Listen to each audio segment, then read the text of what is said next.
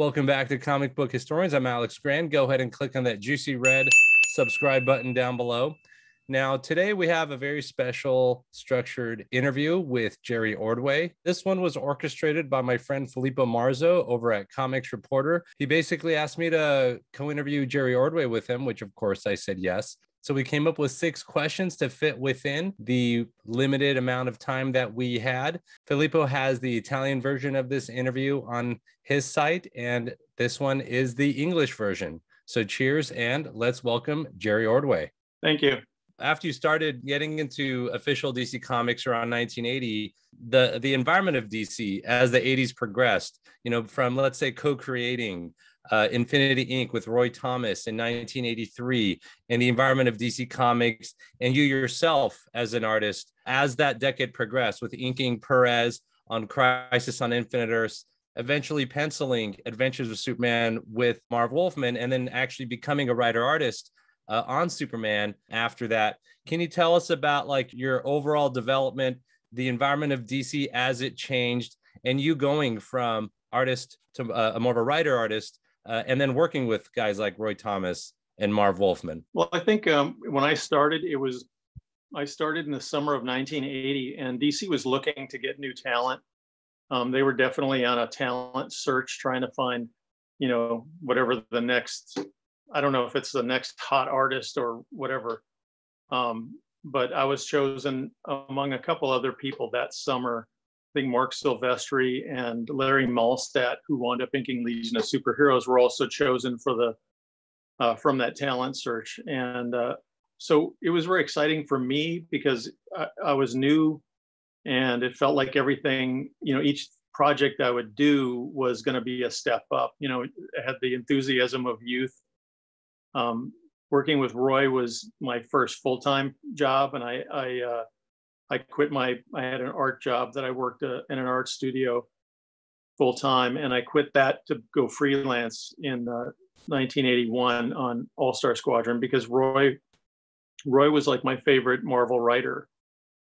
He had done the Avengers. The Avengers was really my favorite Marvel book. Just the, uh, you know, that period of, of the Avengers that really kind of is used in the movies and stuff. The the the, the beginning of the Vision and the uh, you know just all the conflicts between the characters. So it was really kind of a, a an amazing thing to, for that to be my first series. While i was on that he and i you know co-created characters within infinity inc. and we kind of revamped things. And uh, i'd always wanted to I, i'm not somebody who would like i didn't want to be uh, just an inker or just anything. So i you know i came from an environment of doing my own comics not professionally, but I always wrote my own stuff and I always, you know, did the full art on it. So I, I felt like that was always kind of a goal. I just uh, think it was something that took a while to get to, to make it happen. I mean, it, it was kind of hard during the 80s until Frank Miller and John Byrne and, and Walter Simonson started writing and drawing, and Howard Chaykin was another, and Jim Starlin. They uh, they were kind of like the guys who blazed that trail to uh, kind of turn that tide to allow artists to, to actually write stories or even to co-plot or plot stories. So uh, it was it was kind of a journey. So Infinity Inc. became kind of a, a you know the first we were like one of DC's first direct sales comics as opposed to being on the newsstand. And the direct sales market is what we now have here as far as you know comic book stores, like a network of comic book stores but uh, that was very new back in 1980. I think that was in 82 that we started talking about it, maybe 83.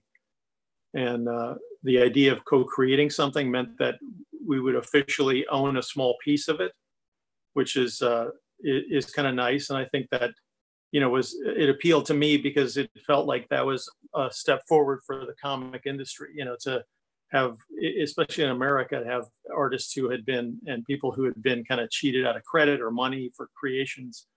It felt like a, a very positive thing. And that the whole 80s, that whole arc of the 80s through to, to 89 and 90 um, was all about DC for me and increasing uh, creators' stake in, in the comics. We got royalties for the first time in, in 1981 we had uh, um, creator again this creator share where you get equity in a character if it was used a, as a toy or if it was used in tv movies or whatever.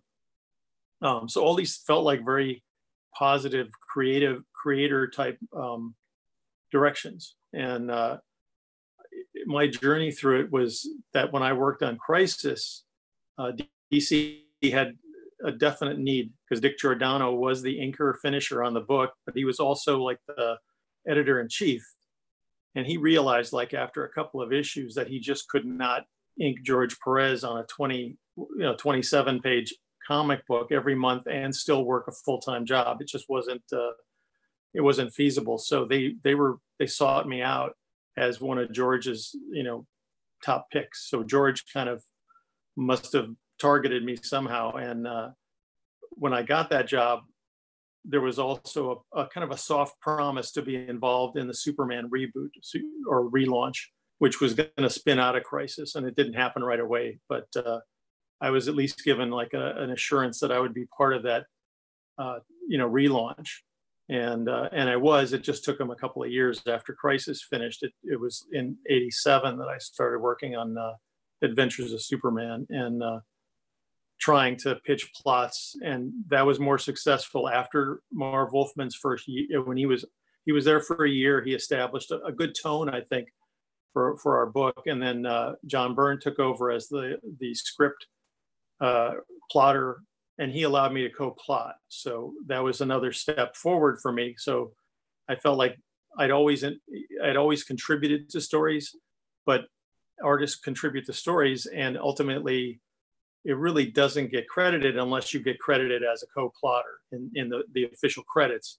So I would throw in things into stories from the time I started penciling. I would throw uh, little bits into into the backgrounds or, in, or actually plot ideas. But uh, until uh, Byrne took over on the Adventures of Superman, I, I, didn't I hadn't gotten credited for it. So I think getting a co-plotter credit, it's basically them building my confidence. Um, that's what to me feels like it, it led more organically to becoming a writer artist. Because when john byrne left uh, I, mike carlin asked me who what writers would you like to work with?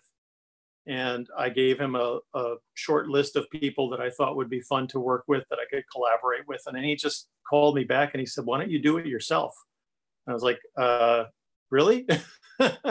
Sure so he he he helped me uh, with the transition as well because he you know he knows the uh, a comic book page has specific needs that you don't really think about unless you have to do it.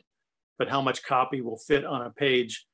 How much will a reader want to read? You know i mean uh, i think he he found as an editor that he made the comment to me after my first story. He said why are all you artists so talky you know, because I had I had too much dialogue and too much uh, dial uh, captions and you know too many word balloons in my stories. So he he taught me how to cut it back uh, so that it the art could breathe a little bit and it wasn't overwhelmed by one or the other. And and that was you know that was a valuable lesson for me. That was uh, kind of an unofficial uh, schooling, you know, and. A, a lot of prob- a lot of, a lot of other editors may not have known enough to to actually give me that, you know, the information that I used from that point on. Um, but that, yeah, it became very, it was an organic kind of, kind of, uh, yeah, I felt like I had a trajectory that was going up. And as, as the projects got higher profile, I was definitely given more to do and I was given better projects. Clearly with Superman, that was a big project. And then uh, you know, shortly after that, I was I did the Batman movie comic adaptation was was a very uh, uh, high profile thing too. And this is perfect where you left off because that goes into the next question. Tell us about working on that first Batman uh, film adaptation because Danny O'Neil scripted it and you were the artist on it. And did you get film clips to reference material? How were those discussions with Denny as far as construction of that graphic novel? well, the my I think my involvement with the uh, Batman movie comic adaptation really started with uh, I had gone to a comic a comic book show in the UK in London uh, called UKCAC. It was in 1988 in October. And at that time, Batman was in production. It hadn't started filming, but they were built. They were building sets in um, at Pinewood Studios and just outside of London. So I was able to get a tour along with, I mean, other artists and, and creators who were there. DC was able to get them into like a little informal tour of the studio and the to tour the sets. And I missed that initial one because I didn't arrive into the UK until the day, I mean, late at the end of the day, they'd already done that. So I, after the convention was over, I, my girlfriend and I were staying for another week and uh, Jenette Kahn got us to, you know, a little, uh, not passes, but she got us, you know, the uh, access to the, just wandering around the sets and we got to meet people and got to meet all the production people. Got to see the costume up close um, got to see the car up close and hear from the people who designed it. It was very exciting. So i go back to the states my friends everybody's talking about batman. Oh is it going to be good? Is it going to be bad? Everybody thought keaton you know what with people that i knew everybody liked the casting but nicholson as the joker was clearly the big draw.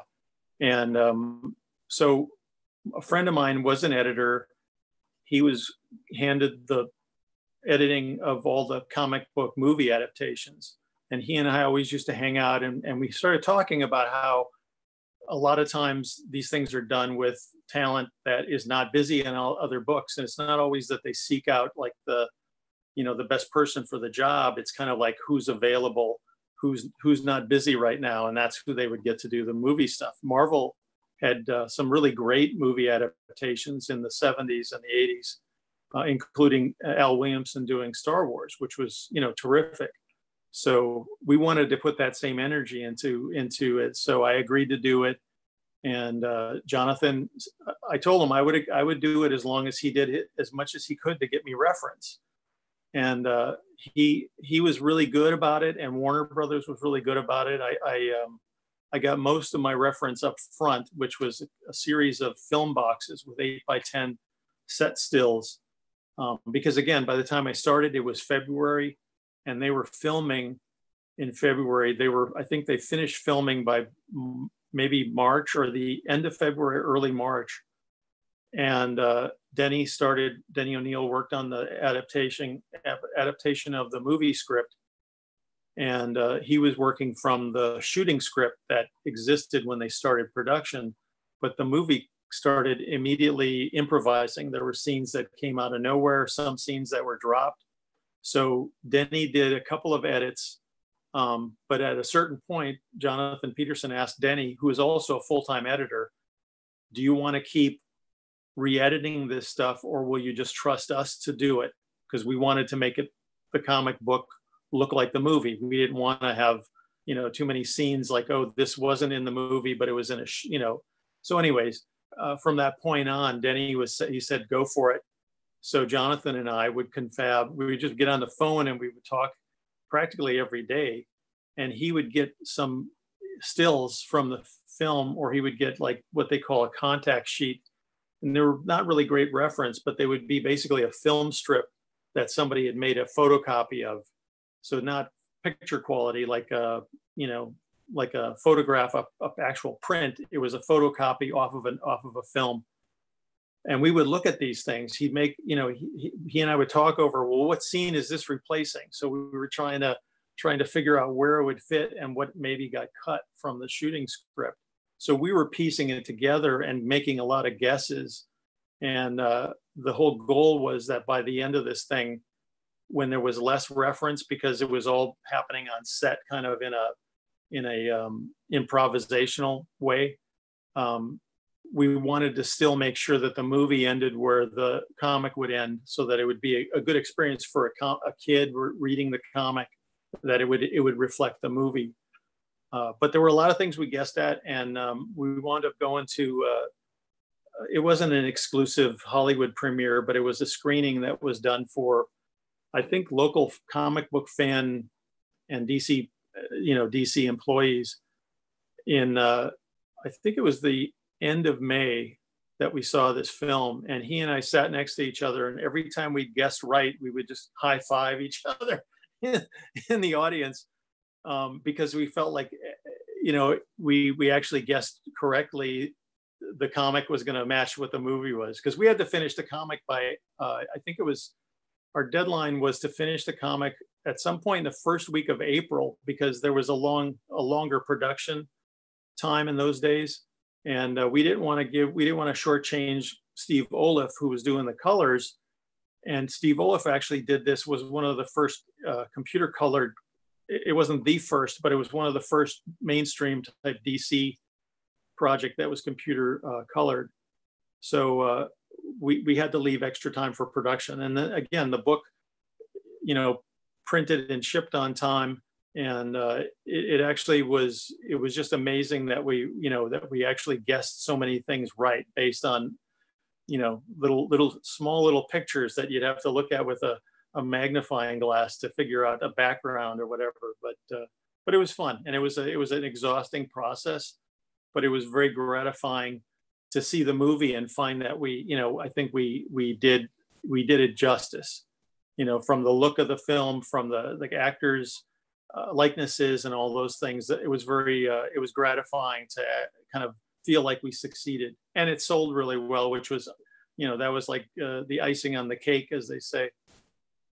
Can you share with us memories of working and co-creating the Wildstar character with Al Gordon for Image Comics? How was that process?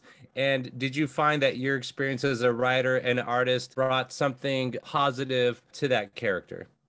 When Image first launched, I knew most of the guys that had started Image because some of them I, I, I, knew Rob Liefeld when he was a teenager. I knew Erik Larsen when he first got into comics. Um, and I was excited by the idea of image. I know a lot of people with even within comics, there were there were a lot of people who were kind of negative about it, but I always felt like the companies held all the all the cards. The companies were in control. And anybody who did a creator owned project in the 70s, Marvel was doing Epic, and uh, there were other smaller publishers in the US like Eclipse Comics and then Pacific Comics that were doing, and First Comics were doing kind of creator owned things. But they didn't have the same. Uh, they didn't have the sale, the sales capacity or the potential as, as much.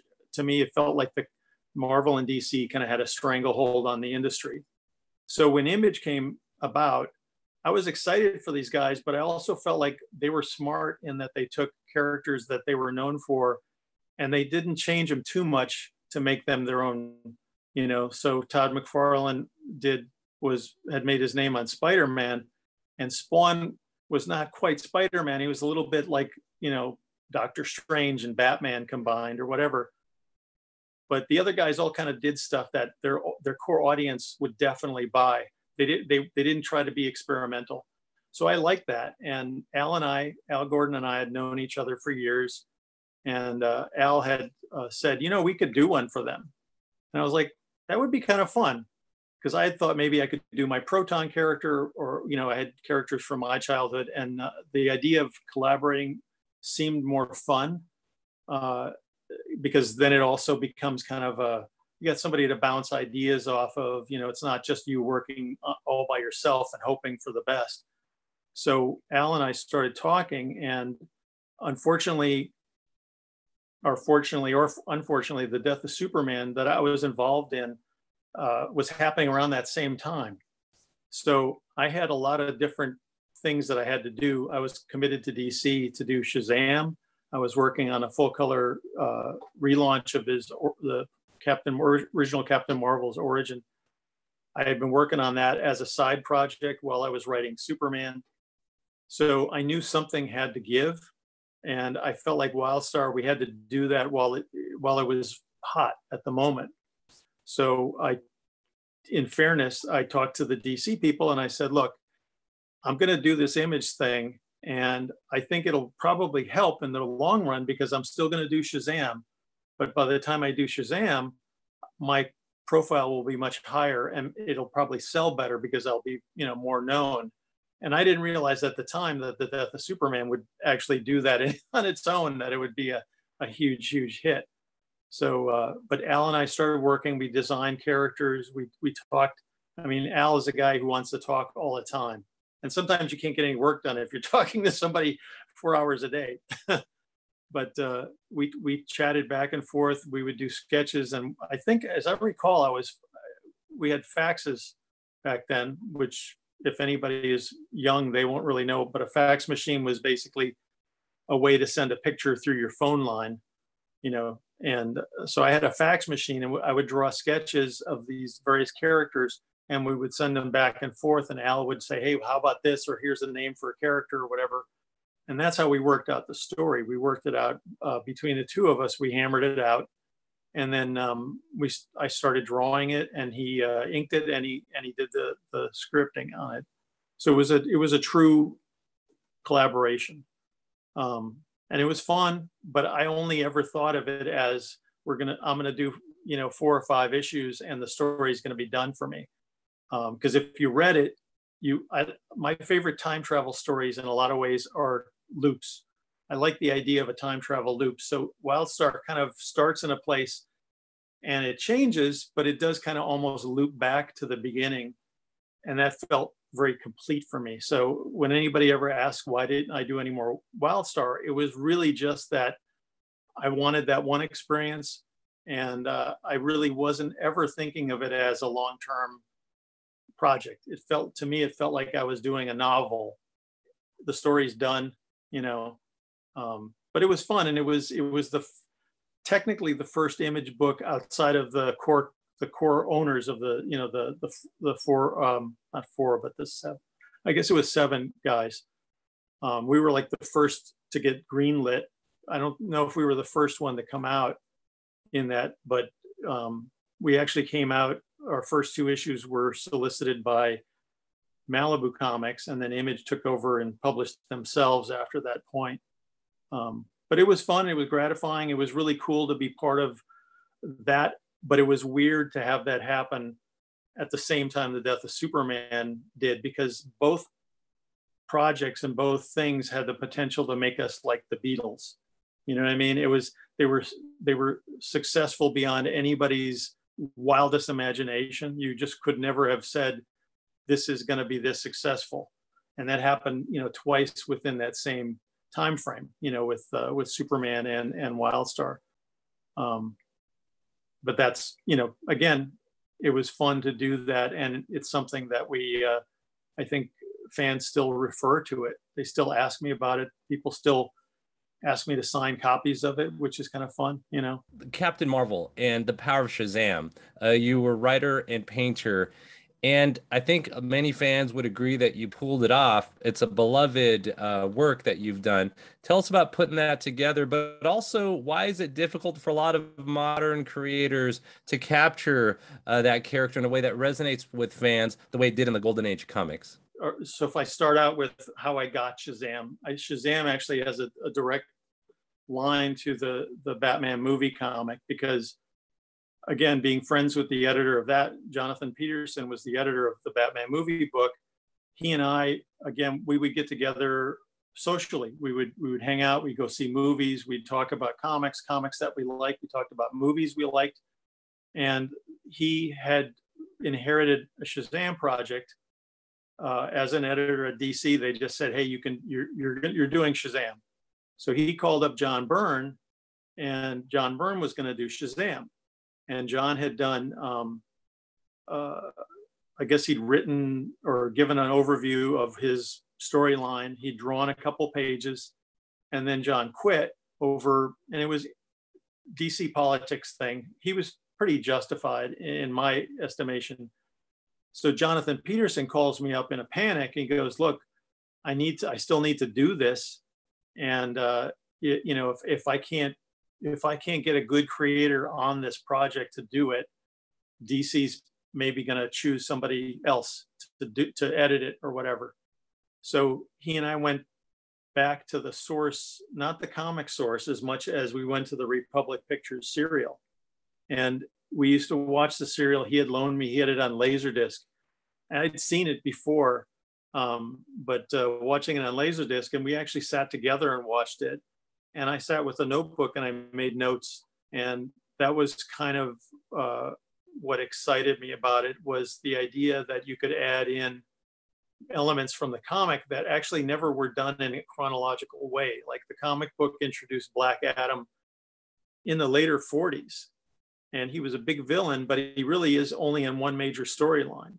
Yet, when you look at his historical biography in the DC, um, in their their literature, their who's who, his his character ties back to Shazam, to the Wizard. So I told Jonathan, if we build this story from the ground up, we build it as a parallel story, Black Adam and Captain Marvel. And we tie in his Billy Batson's parents hadn't really been seen before in the comics. Uh, he was just thrown at the reader as an orphan who follows a stranger into a subway. So I had said, let's do this as a kind of a tribute to the serials, but it's also a tribute to our love of the Indiana Jones movies. And the Indiana Jones movies have this great, uh, rich, very warm color palette. You know, mainly the the first movie is desert stuff, and even the second one, there's a rich, lot of browns and ochres and and uh, sepia colors and stuff. It just gives it a nostalgic feel without feeling cheesy. So uh, um, I started researching Egyptology. I, I, I, tried to fit in without going totally crazy because it's still a, cre- a fantastic creation or whatever. I tried to fit in things into timelines that worked and uh, built the story out from there. But the main thing, which may be a spoiler, but not 30 years later, is that uh, I said the one problem I always had reading Billy ba- uh, about Billy Batson is that he follows a stranger into a subway and I said, you know, when I was a kid, you're not supposed to go with strangers, you know, you know. So I, I came up with the idea that the stranger was actually the spirit of his father. And that's why he follows him. He follows him because he, he trusts him. The idea of Billy uh, following his father into the subway kind of solves a problem for me that just felt like nobody had asked before. You know, maybe nobody cared, but uh, um, yeah, the, the graphic novel itself, I, I kind of had to fight to uh, to do it the way I did it because um, comic books at that time weren't really geared towards drawing full color work on on the actual boards. They had different process for uh, for how they would do that. It was it involved like a print process where you would do a line art page, you would draw your comic in a normal way, and then they would create a an overlay with the line art and a board that was blue lined that you would then hand color almost like an animation cell. And I really didn't want to work that way. So I made it a stipulation of, of doing the project that I could do full color art. Um, and then they would deal with how they could make, you know, how they could get it reproduced correctly. Because again, it was tricky. They just weren't geared towards doing uh, photographing a painting basically even though it's still got line art in it it was it was kind of like a watercolor um, with uh, prismacolor you know colored pencils and and a lot of mixed media which nowadays you can scan it you know i mean it's it's fairly simple i could scan it and upload the file to the company back in those days they had to figure out ways to uh, reproduce that with the printing presses that they were using and, and the color process and everything else. So they actually had to do a lot of production work to make it to make it look as good as it did. I mean, the art to transfer the art to the printed page, they had to do a little extra work to kind of make sure that the blacks, the line art or the black shadows stayed black. Um, uh, so the the guy who worked on that in, in DC's production was his name was Dale Crain, and Dale went above and beyond his normal job to make sure he proofed everything, made sure all the the uh, the the the pages as painted looked vivid, which was another big thing that we wanted. But uh, but ultimately, it was very again very. Uh, I think it was a successful project. They printed it. I want to say 18 was it 18 or 20,000 copies in hardcover is the initial printing, and uh, and then it went to uh, soft cover. I think six months later, and the softcover kept getting reprinted. I mean, I, by the I think it went out of print somewhere around 2008 or nine, and it had been up to about 10 printings by that time. It sold steadily over that long period. It still sold 500 copies a year, which was good for a backlist. You know, something that they didn't they didn't have to do anything new new to. Um, uh, and it, it, it effectively it, it, became Billy Batson's origin, um, which was also good. So it kind of, I think it had a longer life in a sense, past even the our comic version of it, the monthly book. Um, but the uh, the monthly book was also something that they talked to me about when I was doing the graphic now doing this the standalone story, and I knew that I didn't want to draw it and write it because I had um, my wife and I had just started our family. Our kids were real, you know, were little, little, and I wanted to be available and and not be on deadline all the time. So I, I agreed to write it, and I wanted to again to paint the covers so that it would have that feel of the the graphic novel. And most things that are they wind up being gratifying because they were kind of fight. You know, they're a fight. I had to fight to get a painted cover on a comic because the standard response was we don't do painted covers on monthly comics. Um, yet they, you know, they would break that rule themselves on occasion. So uh, um, the series was successful, and then suddenly I think DC felt that it ran out of steam or something. And uh, I still had ideas. I, I, really desperately wanted to get to issue 50 because issue 50 had a, a, a significance to me as a child first Spider-Man comic that I bought as a 10 year old was issue 50. And I remember finding issue 50, Spider-Man, Peter Parker's walking away from his costume in a garbage can in a foreground. But I remember thinking I'd never heard of Spider-Man before, but wow, it's up to issue 50. That must be successful. So in my head, you know, 50 issue run would be a success. So that was my goal with Shazam, and we almost made it.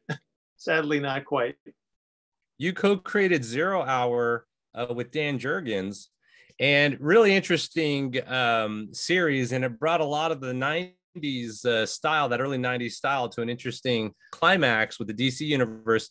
Tell us about co-creating that with Dan Jurgens, and also since you're both writer artists, did that in any way create any stepping on each other's feet, or was it more of a synergy that you spoke the same language? Well, um, the it's actually funny. And on Zero Hour, I would I could only say that Dan and I co-created the art. I mean, he did the heavy lifting. He that was his idea, his storyline. I, I didn't have anything to do with the storyline except for working off of layouts that he did. Um, I've known Dan, I think since 1981 is the first time I met him at Chicago Comic Convention, and he's a Minnesota guy. I was Wisconsin. So we're Midwest sensibility, kind of the uh, the aw shucks guys. You know, probably we're both attuned to what Clark Kent seems like he should be about. but um, he he actually he, he and I have been friends for so long, and uh, Dan actually hit the writer artist thing before I did. Um, early on when he was doing uh, Sun Devils with uh, Gerry Conway, and then I think Conway, Gerry Conway backed off on writing it and just let Dan write it. Um, so I, have always been, I think, not, I, have never felt really competitive with Dan because I feel like, you know, we're both kind of on a similar wavelength or whatever. Um, but yeah, he, uh, when he offered me the idea of, of inking Zero Hour or doing finishes on it, uh, because my, I was, I just finished the Shazam, the, the Power Shazam graphic novel and um, I was not really looking to get into anything heavy duty, and I knew that the regular series wouldn't start right away, anyways. Um, but originally, we were supposed to launch Power Shazam. Issue one was going to launch in in the zero hour in the zero issue wave, so there would have been the first one would have been in issue zero uh, with artist Mike Wieringo, who was would have been great, but Mike dropped out late, very late into it. So I, it didn't happen. But anyways, Dan had asked me if I would do finishes on this thing. And he figured it would be a light enough workload for me that I wasn't worrying about writing anything. I would just, I could still change my kids' diapers and get up with them in the middle of the night, all that stuff. And uh, it was a fun project to work on in that way. Um, and Dan's work is fun. Uh, he and I had worked together plenty of times. We did covers together. We worked on Superman, obviously, but kind of together, sometimes separate or mostly separately, sometimes together. Um, and I always like Dan's layouts. And, and when you're drawing comics, I always hit a point where, you know, you're usually working on your own thing and you get sick of what you're doing. And it, it happens. So, I mean, it's some people just get bored. I don't get bored. I just get sick of my own layouts or whatever. So for me, it, it used to be a way to recharge would be to ink someone else's work for a period of time or for a month or a couple months. It was just a good way to um, to kind of recharge my batteries to see how somebody else handles the storytelling mechanics. You know, how do you solve problems and things like that.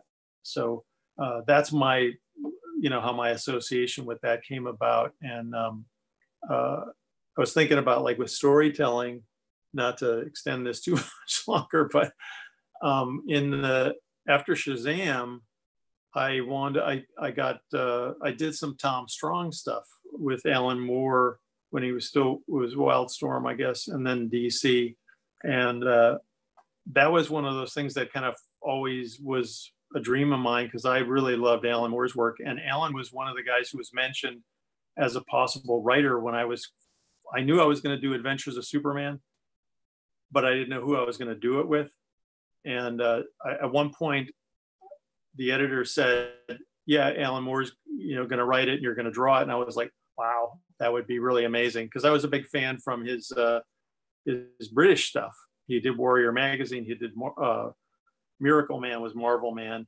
Um, I just was a huge fan. So it took me, you know, several years after that to work with him on Tom Strong, which was uh, was fun. It was like very hard work, but very fun because he just uh, is amazing, you know, as far as his ideas and and his his view. I mean, he can look at a comic page and see right into the far background. He's there's not a lot of uh, improvisation with working with him. Everything's described. Um, and Geoff Johns is a little like that. I mean, Jeff Jeff is is also a really good writer who's also got a visual, you know, a visual style.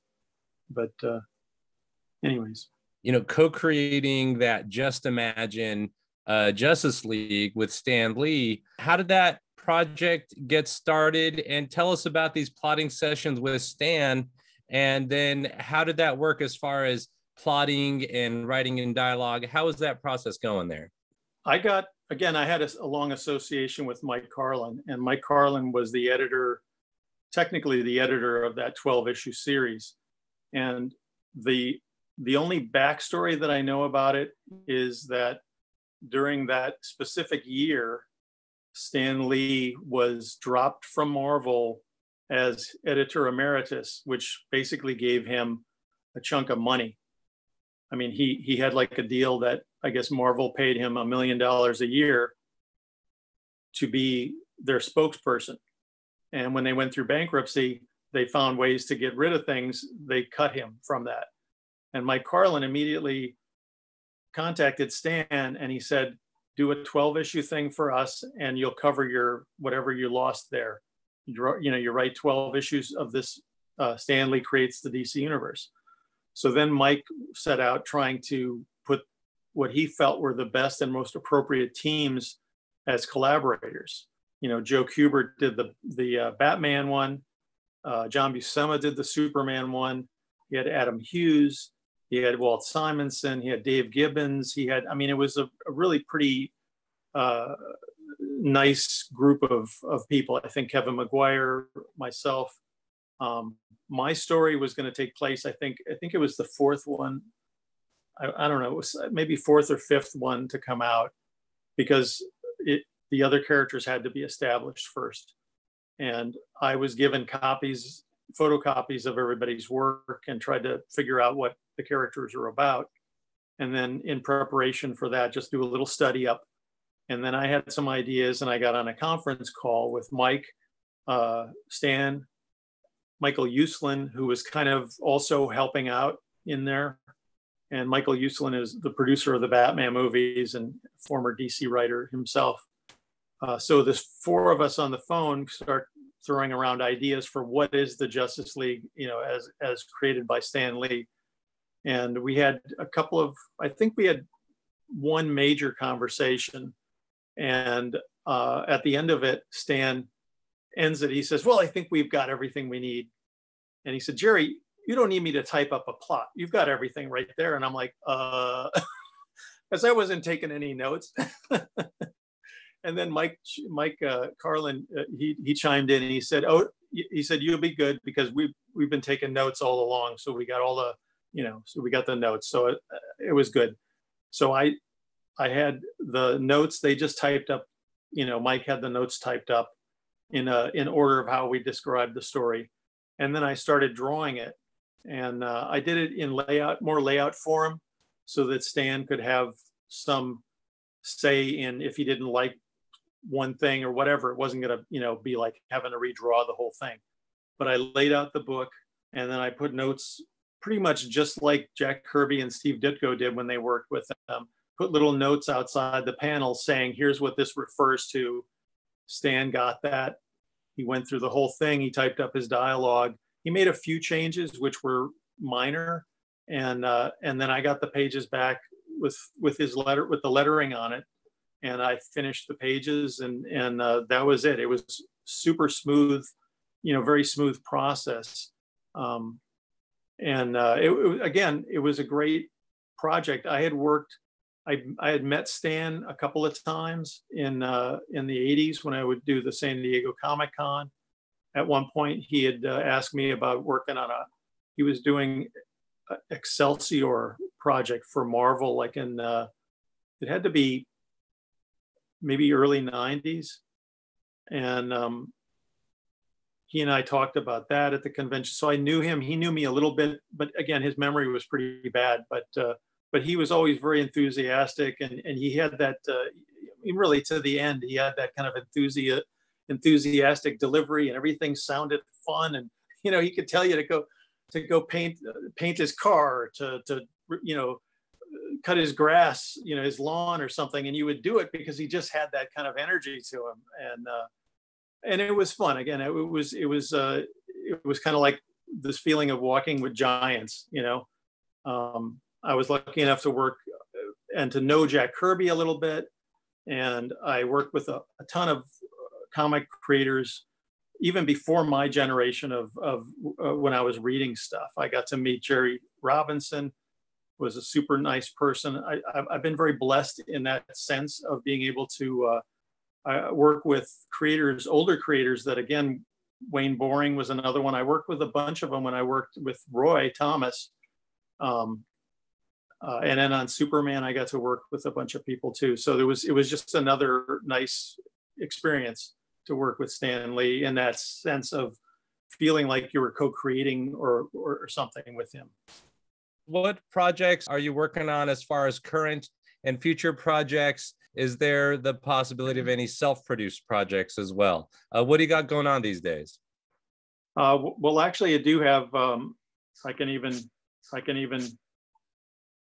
I've been doing a, a self-published comic with a character that I created when I was a teenager, and uh, I've been doing them and selling them mostly at comic book shows locally in the in the U.S and selling some through a link on my Twitter feed as well. Um, and that's pretty much the comic stuff that I'm doing right now. I haven't been, I have like a, a thing that I'm pitching with uh, Roger Stern uh, to Marvel, but nothing's set right now. So I'm at this point, I'm just doing, I'm doing commissions and I'm keeping busy, but I kind of was trying to get some, uh, I guess getting, it's, it's hard to get going on your own project because it's self-funded as well, which is a little harder. So you know you have to balance taking on some paid work to keep you know the bills paid and and all that, and then still have momentum to do the book. Um, that's the hard part. Filippo is asking if you've had a um, uh, any sort of relationship with Italy as far as uh, visiting, any sort of uh, professional relationship with it, or personal relationship with anything of Italian culture. Um, what, what would you have to say about that? Or Italian I... food, absolutely pizza, gelato. I love Italian food. um, I actually, it's kind of funny when I was working on Shazam, which is, I guess, taking it back in the early days of the internet. Let's put it this way: we used to be able to communicate through message boards, and in 1992, my daughter was born. So it was around 92. I was working. I was trying to maintain normal work hours of you know being in bed by 10 o'clock or something in, in the evening but my daughter was a baby and she was going through it was like when she was when your baby is not able to sleep through the night it takes a while so this was the first six months of her life so at one point i know she was she i would get up with her and i got up at like four in the morning my time eastern you know united states time and i couldn't get back to sleep she fell asleep in my studio you know, in a little a little cradle crib thing. And uh, but I couldn't I, I I couldn't I didn't want to wake her, so I was wide awake at this point. So I went on to CompuServe, which was an early uh, message board. It was an early way of connecting on the internet, basically with strangers. Um, and they had a comic book uh, board that a lot of other comic creators were on. So at four in the morning, I had a conversation with a uh, an Italian fan, and, and uh, um, the name will pop in. I remember the first name was was very distinctive, and now I can't remember it. But we typed messages back and forth for about an hour, and I remember uh, it's one of those humbling things that, uh, as a comic book person in the United States, it's always amazing to find that the work is that my work is known. Maybe i'm not a superstar but my work is known in places that you know i can't even imagine. You know what i mean? Um, the power of something like superman or batman or captain marvel these things have a reach well beyond my territory and i'm always impressed by that because i think um, i used to get uh, um, DC used to supply us with all the the what we we would get foreign reprints. So we would get like the editions that were done by. Uh, were, I was apparently fairly popular in South America and Brazil and places like that because I had the kind of a realistic style. So they really loved John Buscema, and I felt very flattered that they loved my Superman in the same way that they loved Curt Swan's, but they didn't like John Byrne, you know, because his work was too stylized or something. Um, but there's there's Italian editions of my Superman comics that I've, I have, and uh, the Batman movie book had been translated in practically every language, including at the time it was a first. They actually got a they were there's a Japanese edition, and Japan was notorious for not importing work. They would you know generally create their own version of something rather than uh, bring it in. But because it was a big movie, uh, it expanded the reach. But uh, Shazam, I think I have Italian editions as well. So I know that the work has been reprinted in many, many places. And uh, I'm a big fan. I'll tell you though, I, I, I would be hard pressed to name names, but I know because my my brain is like Swiss cheese. When I think about names, and I always forget them. Just as I'm, but uh, I know there's a there's a lot of really fine Italian comic artists, and I, have had um, I couldn't tell you the names though. I, I know I've got editions of uh, of work, but I always used to go to Forbidden Planet in New York City. I moved east to Connecticut in the 80s. And one of the first places that I visited with my exec, who was showing me around, he took me right to Forbidden Planet in the uh, in Manhattan, Lower Manhattan, and I just started buying you know, the Judge Dredd, and I, I was buying um, a lot of the French uh, graphic novels. Again, that stuff inspired me to want to do Shazam the way I did because I have a bookcase full of all these really beautiful hand-colored, you know, painted but not they're, they're watercolor paintings and pencil, you know, uh, the same techniques that I tried for. Um, so I've always liked the idea of there's kind of a brotherhood of creative people and if you like comics comics feel very universal you know they're not it's not just like well superman's really not American, you know, like uh, specific.